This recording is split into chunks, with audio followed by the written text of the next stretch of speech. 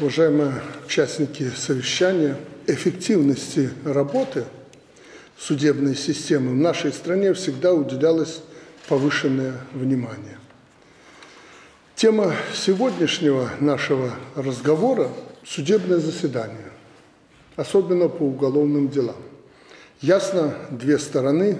Кто-то доволен судебным решением, кто-то нет.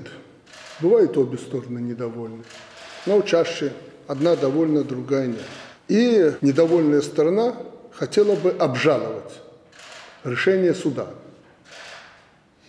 Система в Беларуси существует, но мы признали то, что ее надо усовершенствовать с пользой для людей. В суд, конечно, в итоге может обратиться каждый за защитой своих нарушенных прав. Именно от суда ждут выверенных, справедливых и законных правовых решений.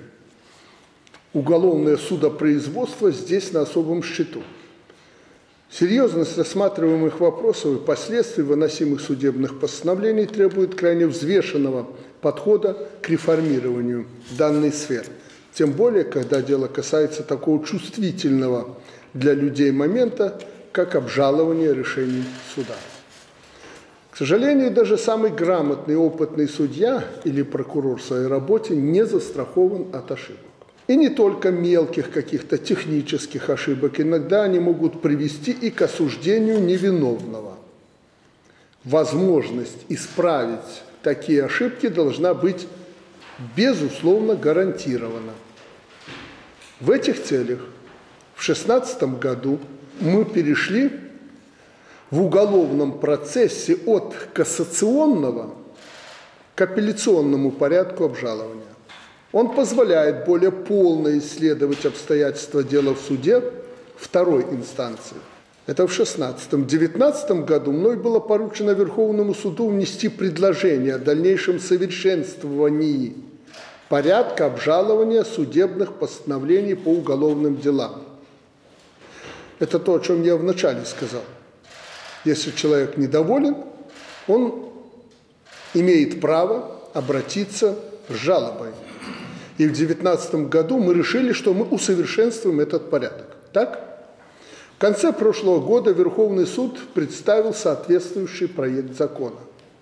С одной стороны, данный проект предусматривает оптимизацию существующего порядка пересмотра судебных решений, то есть чтобы не было лишней волокиты – бюрократии лишней и заорганизованности. С другой стороны, в нем, в этом проекте закона, предлагается ввести дополнительную стадию судопроизводства, кассационную. У нас апелляция, дополнительно кассационную. В этой связи хотел бы, чтобы разработчики и заинтересованные четко разъяснили, для чего нам нужен возврат в уголовный процесс кассации. Она у нас уже была.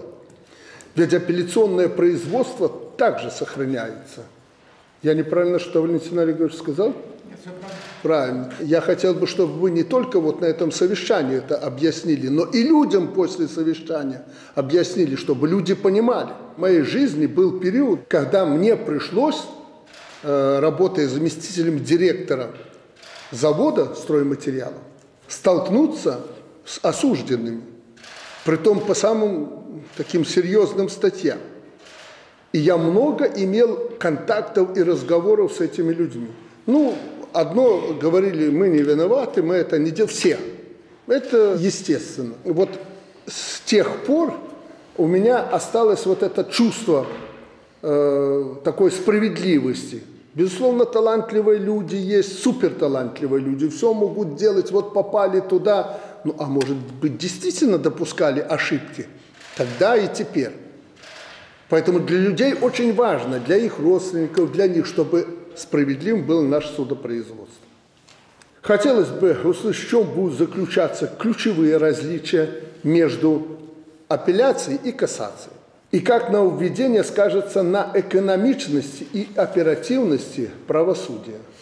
Не забюрократизировать правосудие. И, конечно, не должно быть удорожания.